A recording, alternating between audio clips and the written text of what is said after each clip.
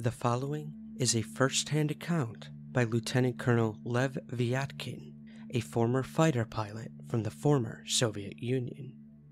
It was originally published in Volume 39 of the Flying Saucer Review. On August 13, 1967, I took off in my interceptor for a training flight. The time was several minutes past 23 hours. I turned on the afterburning in order to climb to 10,000 meter. I maneuvered the plane to face the beam, determined my location, report to the flight commander, and smoothly banked the plane to the left. It was a calm, moonless night. The bright constellations added to its charm. The plane had performed half of the turn and was facing the sea. The lights of Yalta, a Black Sea resort town, glimmered below along the half moon of the beach. I made a routine check of the flight instrument. The engine murmured behind my armored chair. Everything was okay. The flight conformed to all standard procedure. At that moment, I caught sight of the thing that later kept returning to my memory and troubling me, making me recall the details of my night flight, time and time again, searching for an explanation for what happened then. I saw the object when I looked up from the instruments. It was a very large, oval shaped object which somehow fixed to the port of my plane. A strange object so close to my plane could not help but worry me, so I requested the flight commander, Major Muzatov, at once. Who is in the zone? He consulted his instruments and answered to my surprise that there was nobody in the zone, as all other planes had already landed. I banked the plane to the right, trying not to lose sight of the strange object which worried me a lot. However, several seconds later, its lights went gradually down as if a rheostat switch had been turned off inside. Meanwhile, the plane made a complete right turn and came back to the starting point. I considered my next move and then decided to make the left turn I had planned, trying to be careful as possible. Hardly had I banked the plane to the left and adjusted the speed and thrust when I saw a flash of bright light from above straight on the course of my plane. Then a slanting, milky white ray appeared in front of my plane. The ray was closing in on me. Had I not leveled out, the ray would have hit my fuselage, or, to be more exact, my cockpit. All the same, I hit the ray with left wing. I was approaching the ray at a very high speed, not taking my eyes off it, so I had time to notice and feel something very strange.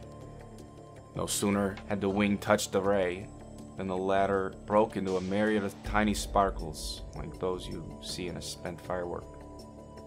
The plane shook violently and the instruments read off the scale. Is the ray solid? I thought instinctively, with my eyes still on the strange sparkling pillar which stretched downwards. Soon the light above and the ray below disappeared. I kept searching the starry skies above for more surprises, but everything was quiet. My night flight ended safely. For many days afterward, the surface of the wing, which had come into contact with the strange ray, shone at nights as if to remind me of the phenomenon. The account you just heard is one of many UFO incidents alleged to have occurred in the former Soviet Union. While many unearthed documents and files have been obtained throughout the years, it's important to consider the veracity of such reports during the Cold War. Could this all be some sort of strange intelligence game? However, as we'll see, if even one of these accounts is true, they only add to the immeasurable amount of UFO encounters, not just in Russia, but throughout the entire world. This is a case history of Soviet UFOs, pursuits, crashes, and encounters behind the Iron Curtain.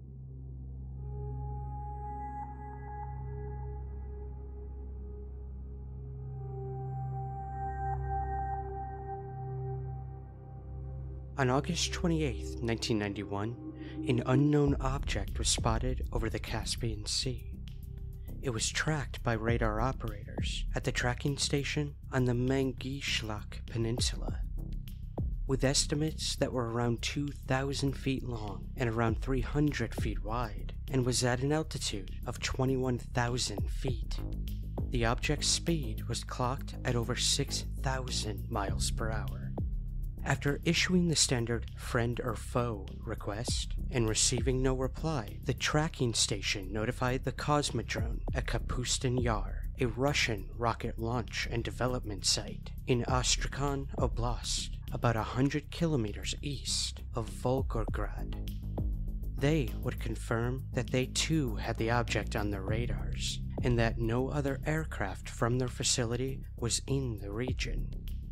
It was at this point that a military alert was sounded.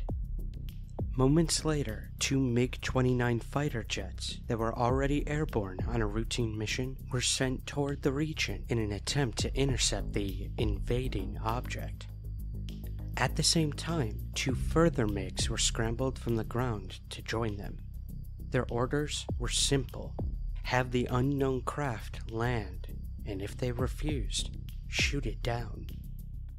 A short time later, all four of the jets were over the Aral Sea, and soon had radar followed by visual confirmation. They would describe the unknown object as being metallic gray and elongated. At this point, the leader of the MiGs issued another friend or foe request before ordering it to fall in behind so they could guide it to the ground. Once again, they received no response. The MiGs, flying around 2,500 feet from the object, began to close in. The closer the MiG fighters got to the object, the more detail they could make out. There appeared to be some writing or symbols on the exterior in a green color, but the pilots claimed these were an unknown language. They also noticed what happened to be two portholes at what they assumed was the front of the object. With the object, or at least their occupants, seeming little concerned about the MiG fighters at all, the flight leader radioed to ground control for further instruction. Rather than open fire at this stage, they were ordered to close in on the craft a little tighter. Once they were parallel to the vehicle, they were ordered to fire warning shots in front of it. The MiGs reduced their distance from the object from 2,500 feet to around 1,500 feet, two on each side. However, when they went to fire the warning shots, there was no response, in fact, all of the electrical systems suddenly went down. Even worse, the engines to the planes started to fail. Forced to head back to base as best they could, the object soon took off into the distance. Incidentally, all four of the plane's controls and engines recovered once the object had moved away from the fighters. In the meantime, radar operators continued to follow the object's progress, noting that it appeared to be heading back to the Sea. The operators calculated its speed at an unbelievable 42,000 miles per hour. They warned other military and civilian airfields in the approximate flight path of the object of its presence, now worried that a collision with another aircraft was a distinct possibility. They watched the object for over 45 minutes. Then, without warning, it simply vanished from the radar screens. It wasn't, however, the end of the incident. In fact, it was only just beginning.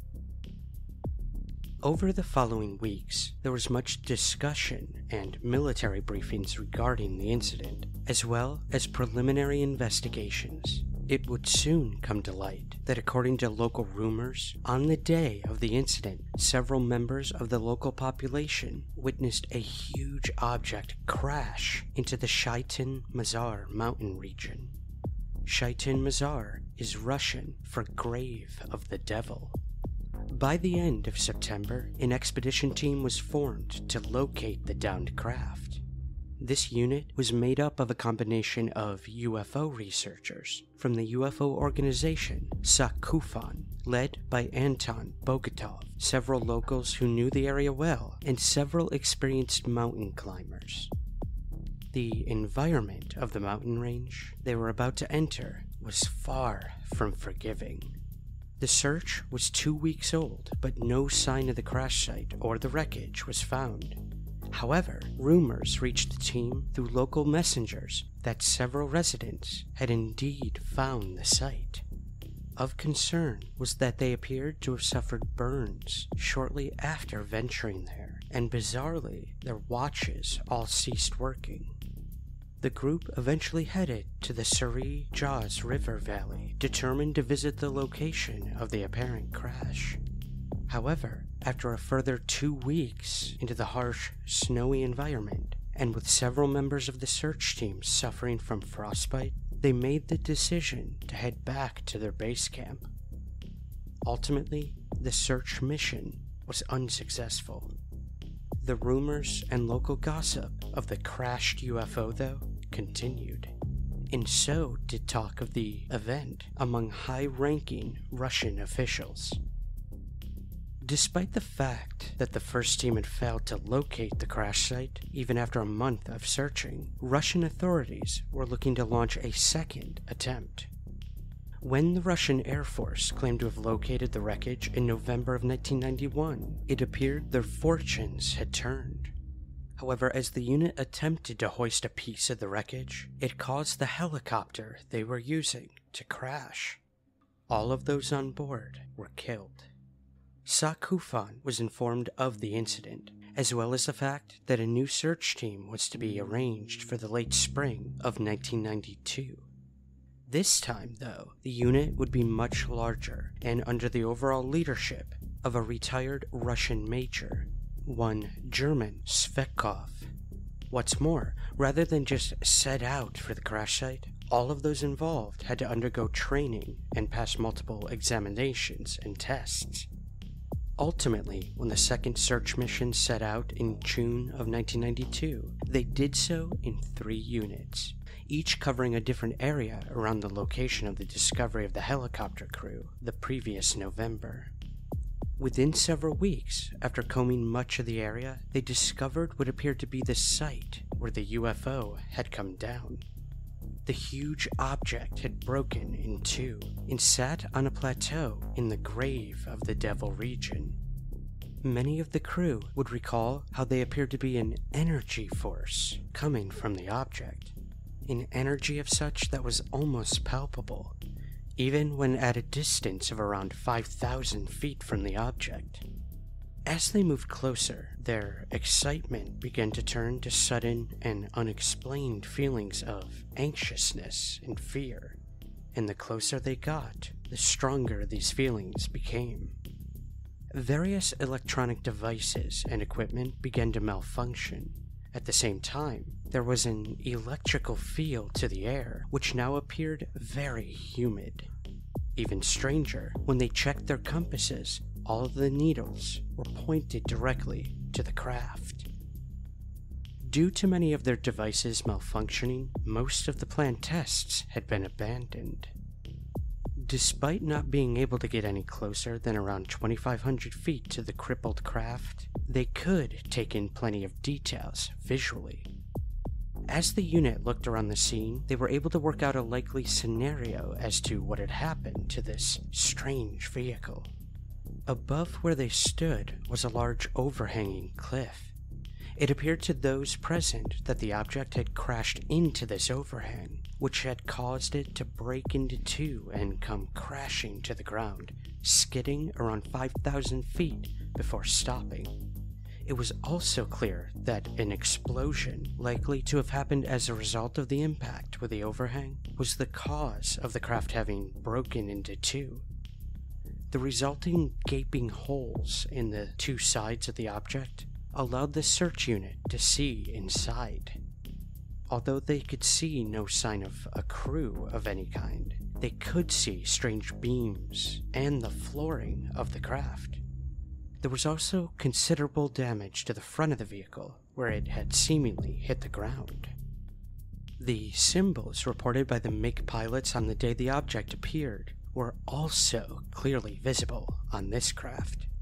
Copies were quickly drawn, and all of those who studied them attested that they had never seen anything like these symbols before, and that they matched no known language.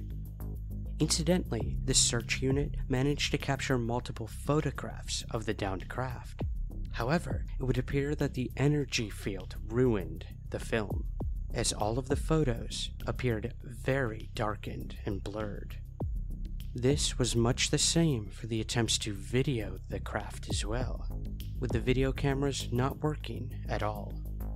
The unit also discovered the remains of the wrecked helicopter, now theorizing that the intense electromagnetic fields could very well have caused the helicopter's equipment to malfunction and ultimately send it crashing to the terrain below. They did find it a little perplexing and perhaps unnerving that there was no sign of any bodies. Although a third mission to the site was in the planning almost immediately after the discovery of the crashed craft, it would not go ahead until six years later, in August of 1998. And even then, it was a severely depleted effort. They failed to secure the services and funding of German Zhvekov, who had led the successful second mission as the Russian economy was in a severe downturn, he declined to become involved with the third attempt so he could concentrate on his already struggling businesses.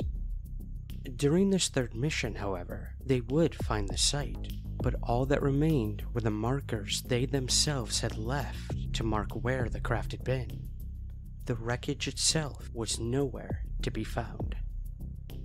It was suspected that the military had discreetly returned following the discovery of the craft and retrieved it. Perhaps the fact that the ground had seemingly been planed and smoothed out so as to take away any evidence that an impact had happened. There is perhaps much more to contemplate from this apparent case of a crashed UFO. It is certainly an intriguing account and one that has details that arise in other such cases of downed UFOs. However, while the credibility of the sources here is not in question per se, there are several sticking points that are perhaps worth examining. The fact that no photographs or video footage was captured, for example, perhaps falls very nicely into the hands of skeptics. After all, if we assume that the electromagnetic energy did ruin the photos and films, we might assume that the authorities would have dispatched a plane on a photographic mission, or even sent another unit to the area and have them photograph it from further away. And what about the third mission? Did the military remove the wreckage of the craft in the time it took to organize it? And might his concerns of his business not be the only reason that Chekhov declined to set out to the site a third time? Might it be, given his military background, that he was fully aware that the craft was no longer there? Ultimately, this incident remains of interest to UFO researchers up until today. But as mentioned, this wasn't the only supposed UFO crash to take place in the former Soviet Union. According to an account written by UFO researcher B.J. Booth, which was relayed to him by researchers Anton Anfalov, Lenora Azisnova, and Alexander Mosolov, an alleged UFO crashed on August 10, 1989. At around 11 a.m. on the morning in question, an anomalous object was spotted by Soviet military radar operators near the city of Prokhladny, with all attempts to communicate with it receiving no response. Several MiG fighters were scrambled into the air to intercept the object, while surface to air missiles were put on standby. With the object heading north, one of these missiles was launched and seemingly hit the object, causing it to crash somewhere in the Caucasian mountains. An M18 helicopter immediately carried a retrieval team to the location where the craft was shot down. They would soon locate the remains of what appeared to be a disc shaped craft just outside of Nizhny Zhaykum. They landed nearby and quickly secured the area, putting it off limits to all but those with official military clearance. They would estimate the object was around 20 feet wide and around 10 feet high, and had seemingly dragged along the ground for a considerable distance before coming to a stop near some large rocks. As the team studied the object, they could clearly see the damage inflicted by the missile strike. After an initial assessment of the scene, a team dressed in protective equipment moved toward the craft to investigate further. As they did, extremely high levels of radiation were detected, which some of the unit had undoubtedly been exposed to. The object was successfully transported from the crash site to Mozdok Air Base, where a team was assembled to study the apparent otherworldly craft in more detail. Wearing fully protective clothing, the research team entered the craft through a door that was partially open, likely from the missile strike. Once inside, they would make some remarkable discoveries.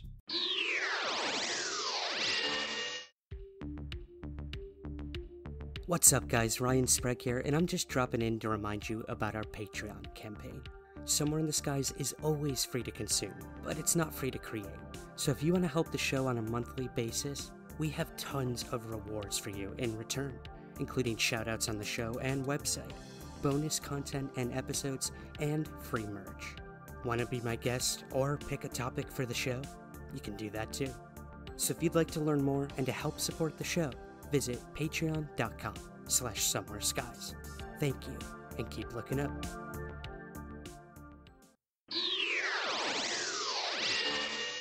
Not only did they find two dead entities, seemingly killed by falling equipment during the crash, but they discovered a third wounded entity. They would attempt to keep it alive, but ultimately it died a short time after. These strange beings themselves were described as being around three feet tall with whitish gray skin, although it appeared the skin was actually an outer cover, such as some futuristic clothing.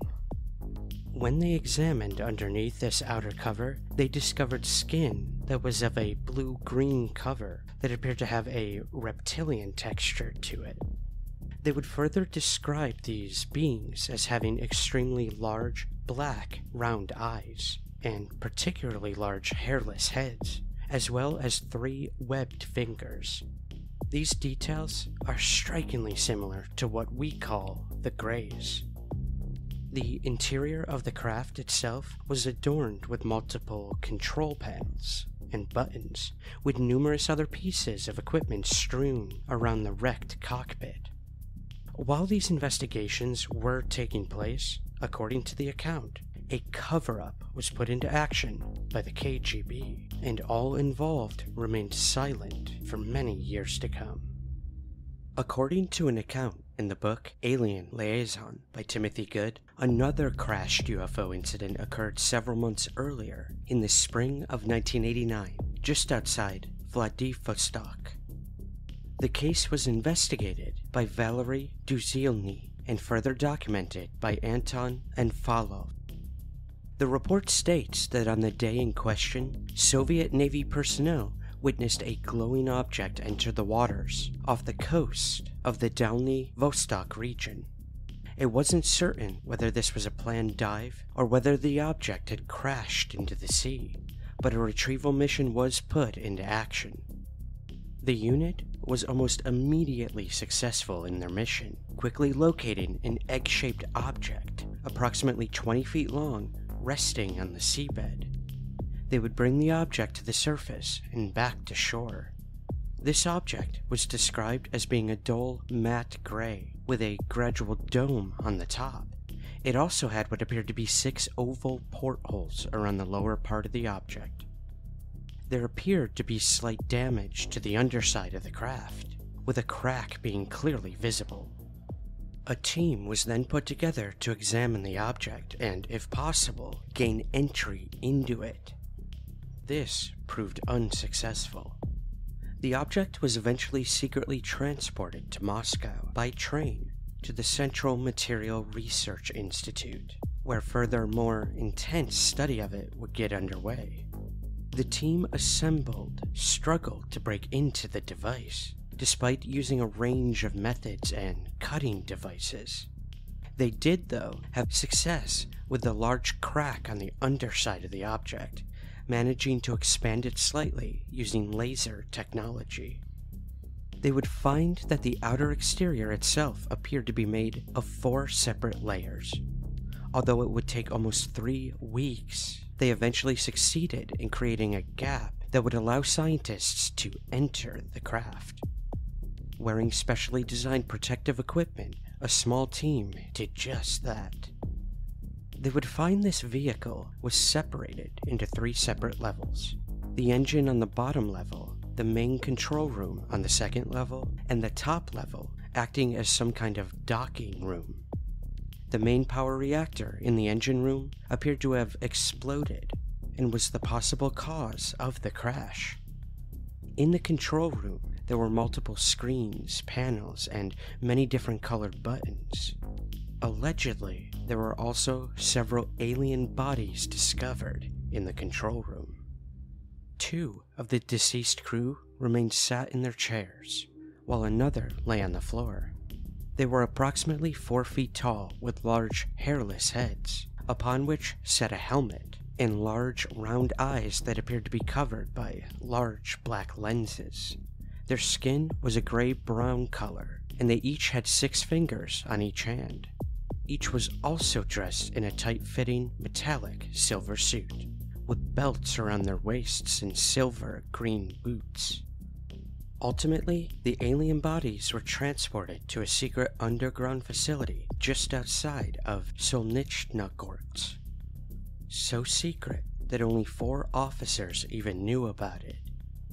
The object itself was taken to a mountain base on Novaya Zemlya Island beyond the polar circle.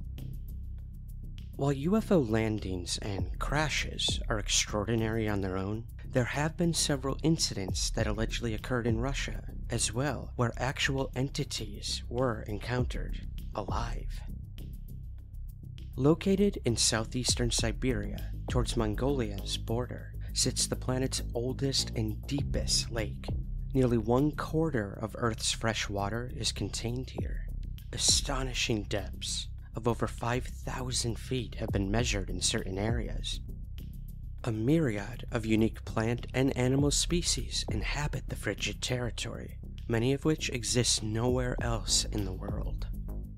Scientists estimate this massive basin formed as an ancient rift valley more than 25 million years ago. For centuries, Lake Baikal has been home to a plethora of unexplained phenomena. Locals claim countless peculiar UFO encounters frequently occur within this remote region of Russia. Some theorize an extraterrestrial base is lurking beneath the picturesque exterior. One of the most bizarre reports occurred in 1982 during a routine Soviet military training dive.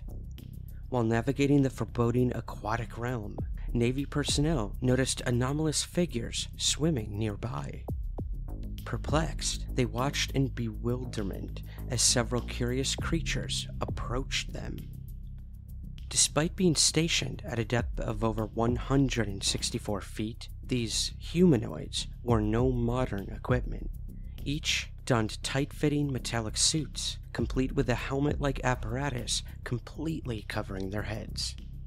Upon closer inspection, troopers noticed the aliens were nearly 10 feet tall However, the colossal loch dwellers soon disappeared back into the murky abyss.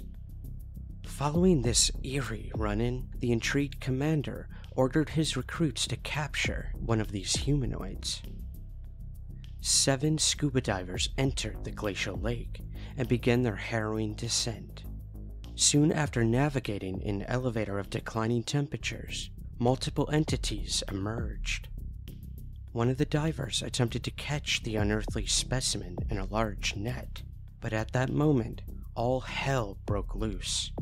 Suddenly, the entity fought back by shooting intense sonar waves from a strange device. A powerful force rendered every crew member unconscious and rapidly propelled them to the surface. Catapulting upwards from extreme depths can have devastating effects on the body, resulting in a condition often called the bends. Three of the squadron were seriously injured, but did not succumb to this affliction. the remaining divers needed immediate transfer to a decompression chamber. Unfortunately, there was only one chamber in the region, and it was designed for merely two people at a time. Out of sheer desperation, four men entered simultaneously in an attempt to save their lives. Tragically, this last ditch effort did not go as planned. Three individuals perished as a result of their superior's hasty decision.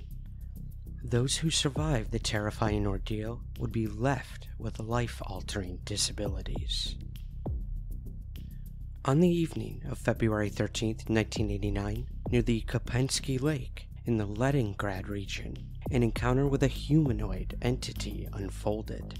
The encounter is documented in the Independent Ufological Newsletter of January 1991 in an article by Kay Wolf titled Contact at Kopensky Lake. According to the article, three men from the Leningrad Auto Park, Yuri Vasilovich, Sergei Yurovich, and Alexander Viktorovich, had decided to embark on a fishing trip on Kopensky Lake around 25 miles outside of the town of Sosnovy.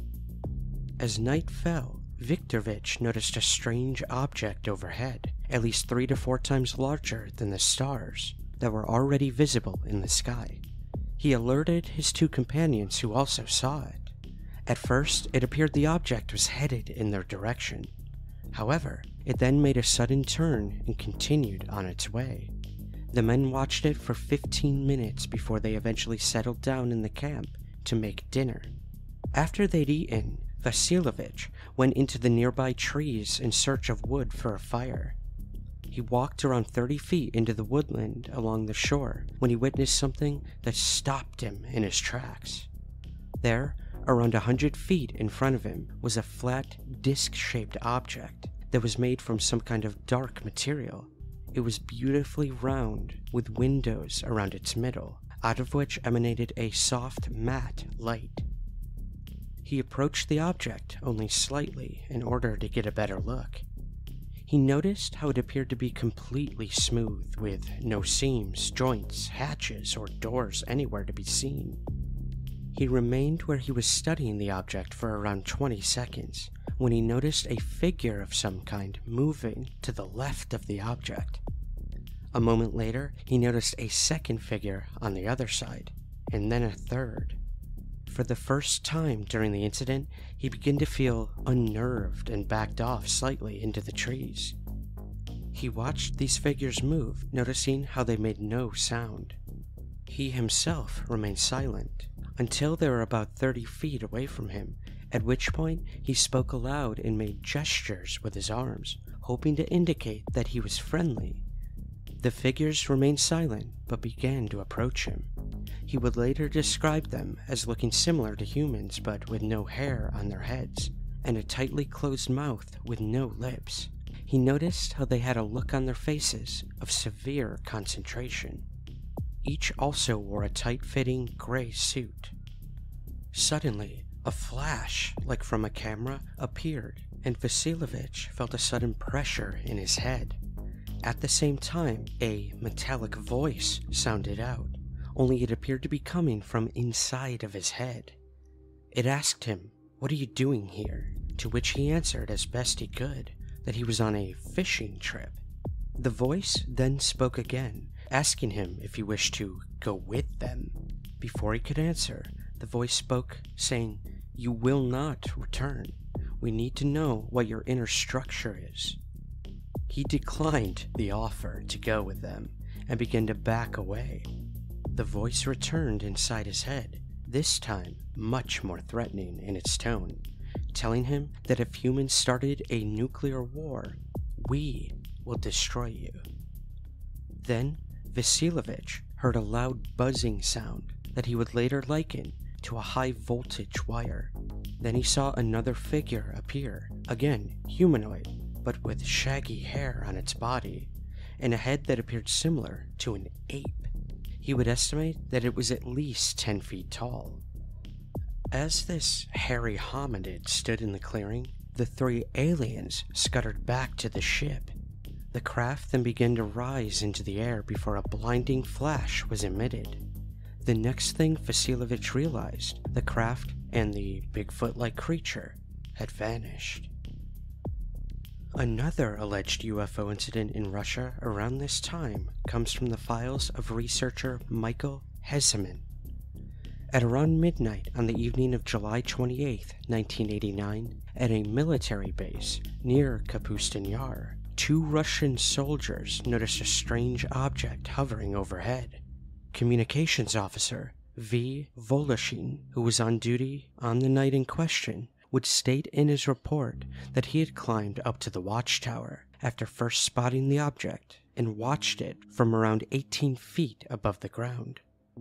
He would recall that he could clearly see a glaring, blinking signal, which was as bright as a camera flash. He further noted that the object headed out toward the missile units. At one point, flying at an altitude as low as 60 feet. At this low height, Voloshin could see that it glowed a phosphorescent green and was approximately 15 feet across.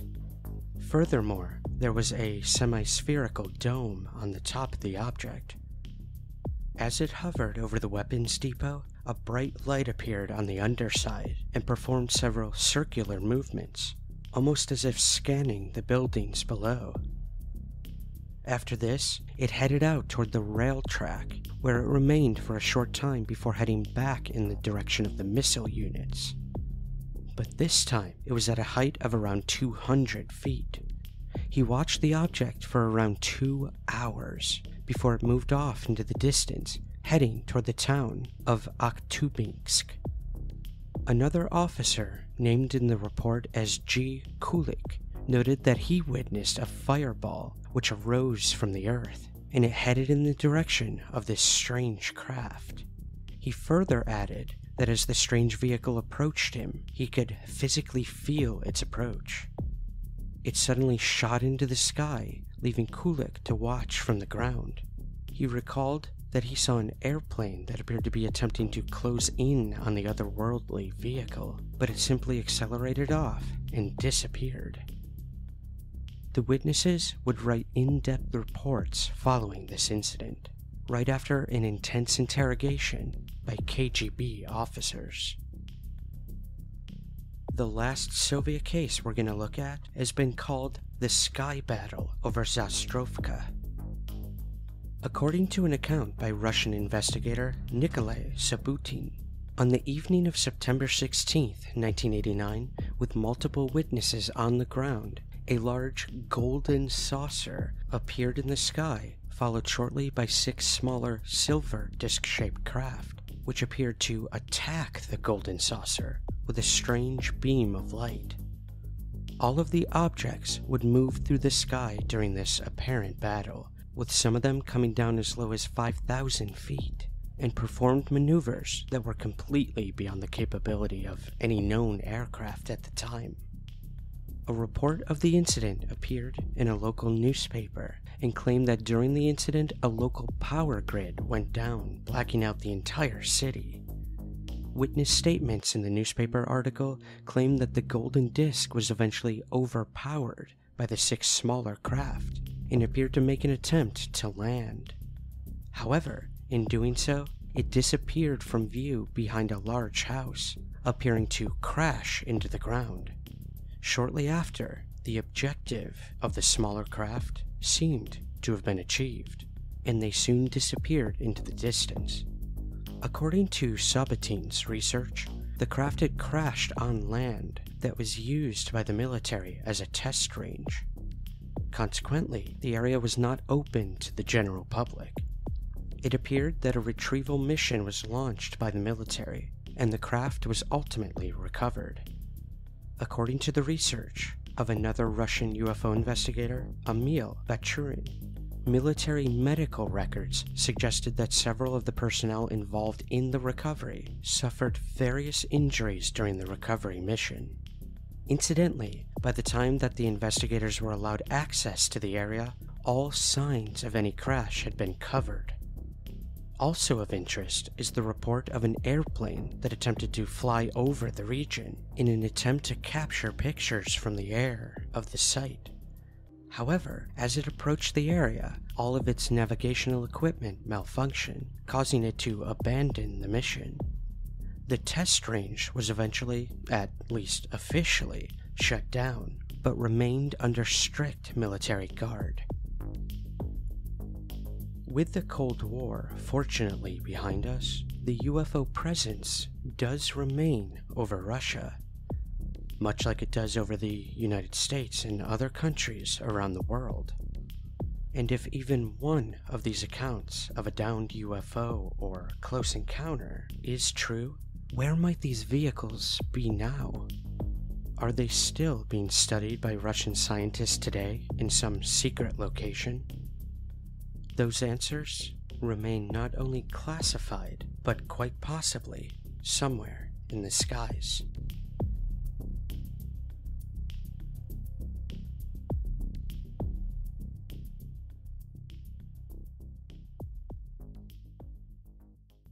This episode was researched and written in article form by Marcus Lowth of UFO Insight under the title The Grave of the Devil Case UFO Crash and Retrieval in Russia. To learn more, visit UFOinsight.com. Special thanks to Connor J. Nolan for his voiceover work in this episode. To contact Connor for voiceover opportunities, follow him on Instagram at Connor J. Nolan or email Connor directly at connornolanfinkel at gmail.com. Special thanks also to John Greenewald Jr. of The Black Vault and George Knapp of Mystery Wire for additional information and documentation included in this episode. For more Russian UFO cases, check out a special bonus episode of Somewhere in the Skies, available right now for our Patreon subscribers. To learn more and to listen, visit patreon.com slash somewhere skies.